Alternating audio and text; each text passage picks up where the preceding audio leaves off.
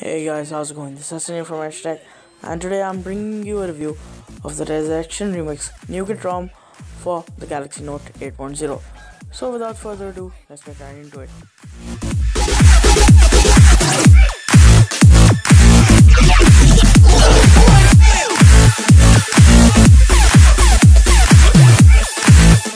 Kicking off the review, I'm going to show you the software and I'm also going to tell you about the special features first up.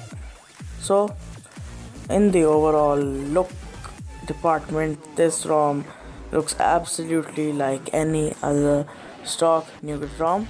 Yes, this is based upon the Android 7.1.1 and this is an official ROM, so I guess that's a good thing.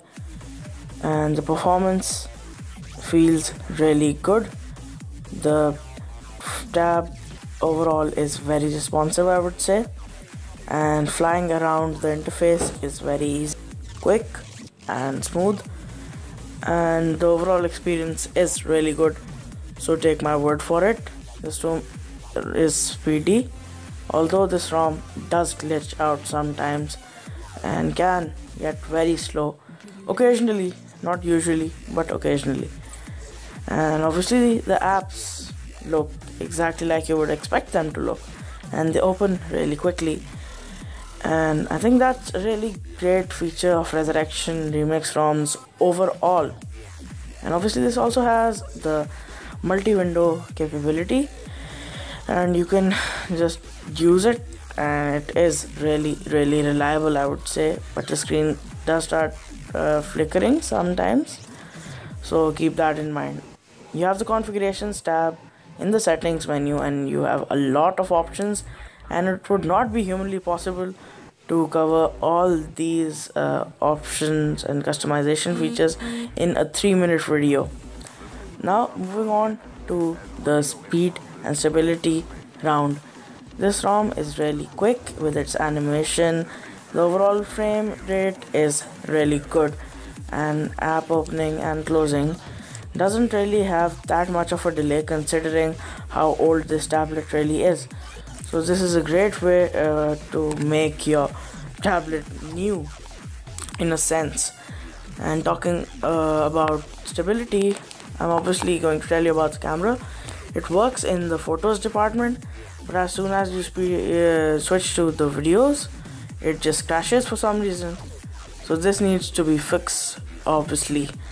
But yeah now with all that in mind let's move on to the battery life. This is a make or break feature for a lot of people. So the battery life of this ROM is fairly average, 3 to 3 and a half hours of screen on time maximum, which is fine I would say, but you can squeeze out 4 plus hours with this tablet, so it's not the greatest. Now moving on to the bugs and issues of this ROM, this is a little unstable and the screen does have a tendency to flicker, but that's about it.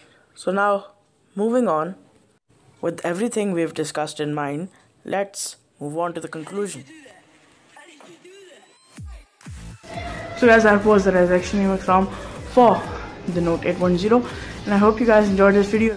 If you did, please be sure to give this a thumbs up and the person who was requesting for this video, here you go. And I'm sorry it took so long, but here you are.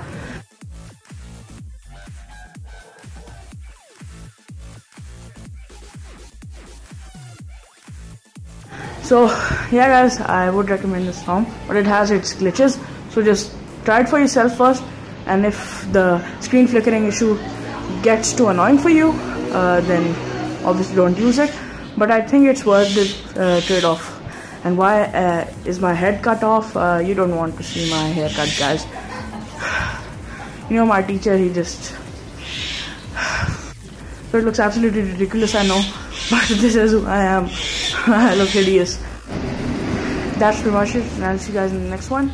Peace.